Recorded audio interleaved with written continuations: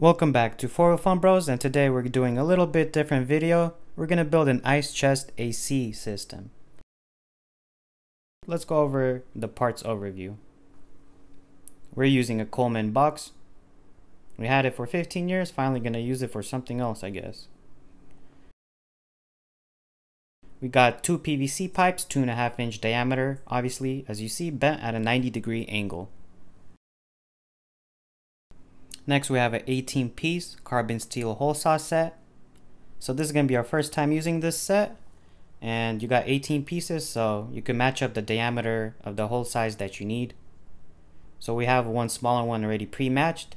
And obviously you're going to need a drill to attach it to. Here's the largest one I believe and we already pre-matched to the fans.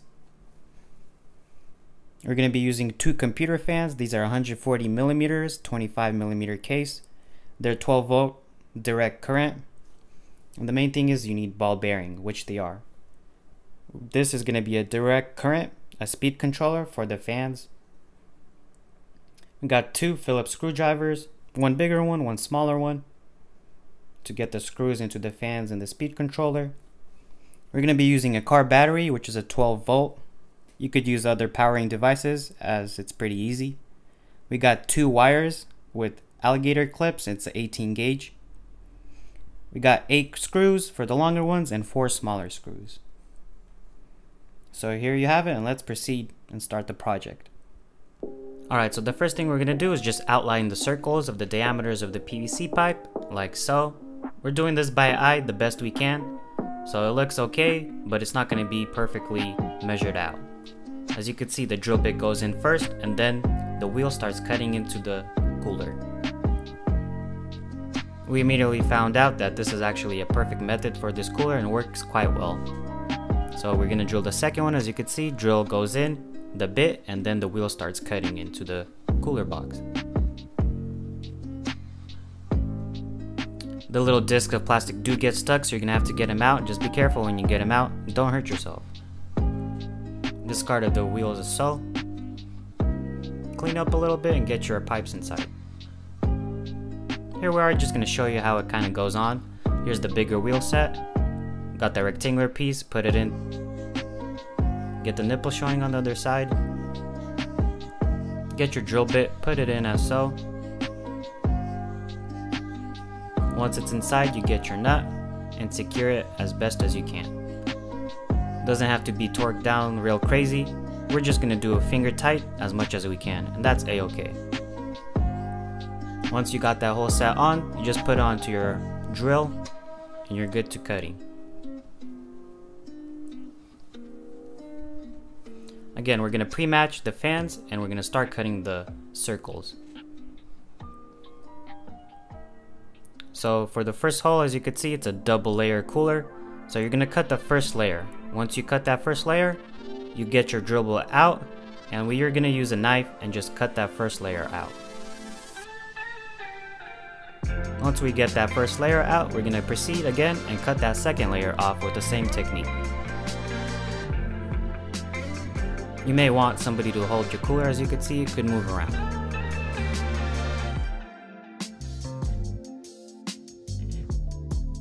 Pre-matching the second fan.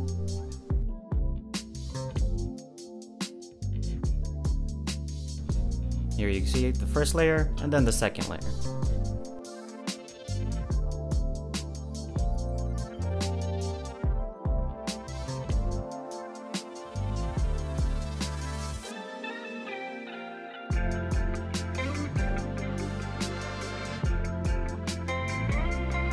If you're liking what you're seeing, please give us a thumbs up button. And if you got any questions or concerns, just drop them down in the comment section below.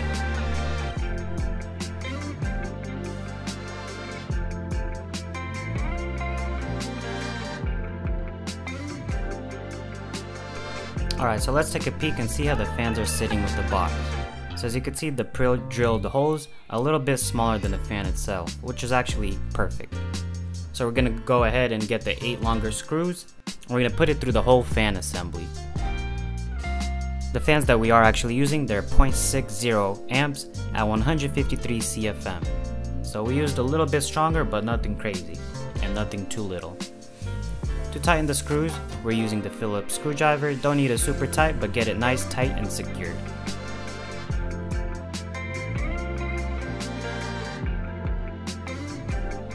Here we are installing the second fan to the cooler, getting it secured. We got the two wires from each fan coming through the middle of both fans where they meet. So the four wires are just coming out as so. Make sure you don't pinch them when you're screwing in the screws.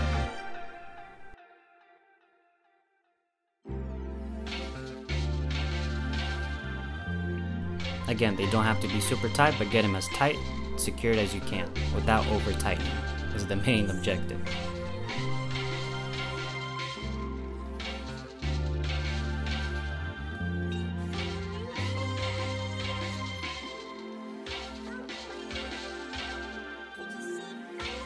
So on your speed control, you're gonna have a power negative and a power positive. These are gonna be coming off your battery. Got a motor positive and a motor negative, and these are gonna be coming off the fans. On the other side right there, you see, that's the slots where the wires are gonna go into. So we're gonna have two fans and we're gonna have two negatives. They're both separate, but they're going into the motor negative both together. Once you insert them into the slot, get your Phillips screwdriver, the smaller one, and get it nice and secured. Now we're doing the positive, both of them again from the fans, inserting into the motor positives.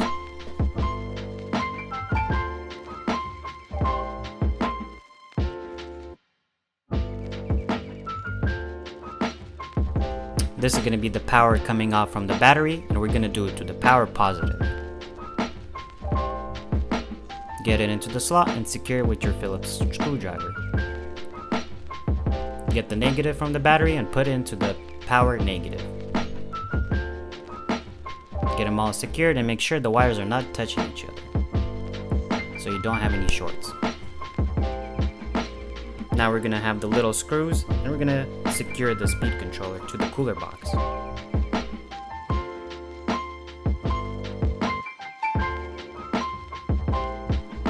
Our method was gonna be to just simply use it on top like that.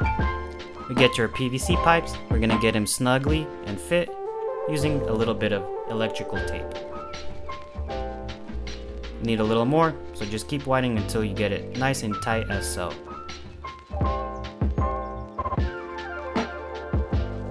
The other side, same exact thing.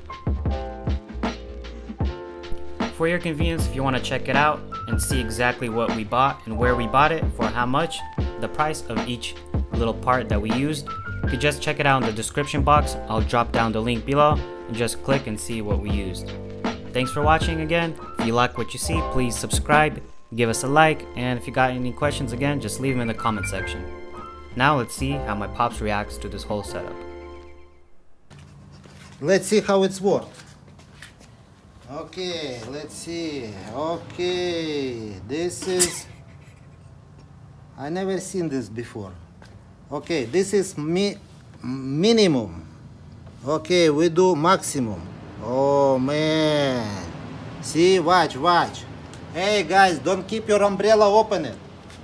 You're gonna be go up, up, up with this blow. Okay, this is maximum. Oh man it's gonna be fullest room in the on the planet I believe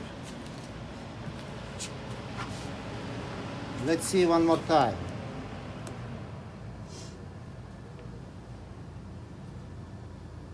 okay now up up up up up up that's it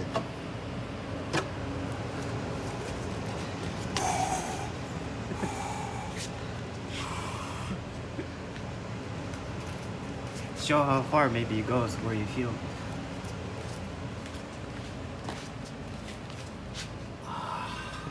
You still feel it from there? Good? Yeah. good. Good job, guys. Good job. Hopefully I like it. I like it a lot. I will try in my van.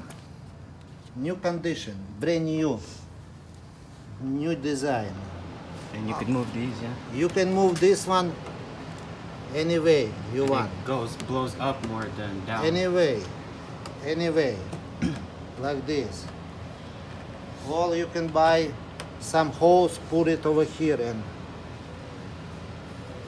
go somewhere. Maybe second floor. okay guys, but now see we open it. It's no ice now. It's gonna be ice over here soon. See, I like it. I cannot believe I can finish this.